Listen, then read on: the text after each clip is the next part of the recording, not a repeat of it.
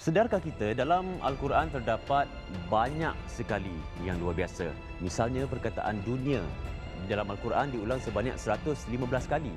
Begitu juga dengan perkataan akhirat diulang sebanyak 115 kali juga. Manakala perkataan iblis dan malaikat diulang dengan jumlah yang sama sebanyak 88 kali. Ia juga berlaku pada perkataan neraka dan syurga yang diulang sama jumlahnya sebanyak 77 kali. Anda masih tertanya-tanya? Mari kita tengok lagi.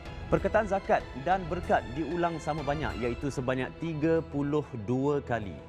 Luar biasanya Al-Quran tidak terhenti di situ saja. Perkataan hukuman diulang sebanyak 117 kali sedangkan perkataan keampunan diulang sebanyak 234 kali. Ini bermaksud kata memaafkan dua kali lebih banyak serta mulia dari kata menghukum di dalam Al-Quran. Al-Quran juga merupakan sumber sains yang luar biasa. Jom kita tengok. Perkataan perempuan dan lelaki di dalam Al-Quran diulang sama banyak iaitu 23 kali. Jumlah perkataan yang diulang dalam Al-Quran ini bila uh, dicampurkan adalah jumlah kromosom pada tubuh manusia.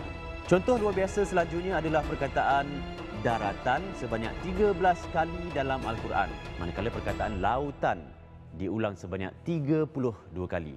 Menariknya formula ini fakta sains uh, menunjukkan memang keadaan permukaan bumi kita ialah 28.88% daratan dan 71.11% lautan.